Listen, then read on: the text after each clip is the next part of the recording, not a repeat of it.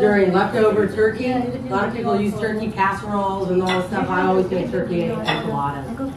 And um, they're big, they're thick.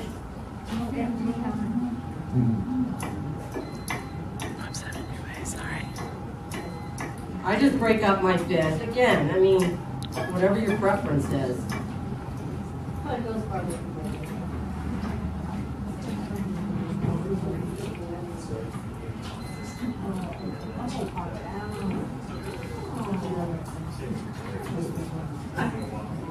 I love this kitchen, you guys. What do you think of this kitchen?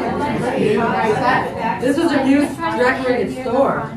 Yeah, and in the back, there's every clean dish you can imagine, isn't it? When you're in your own kitchen, you never find the right bowl to put the ingredients in or to do this. No, when I when I need the bowl, I'm like, oh yeah, it's in the sink. I still haven't washed my dishes. It's like laundry.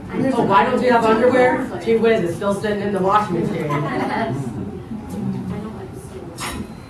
What is that, concrete? It's the installation they spray on it. But I don't like that. I like everything else.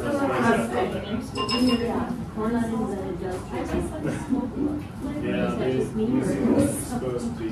Like is the corn? Well, no, because that may have been what I used for the original. But when you go with the co-packer, I remodified that because, you know, I wanted to get a recipe as close to what I perceive where they source in their food at. So, um, hmm, Who's your co-packer? uh, we're currently using Beaverton Foods. Okay.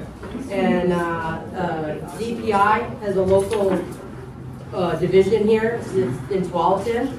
The pumpkin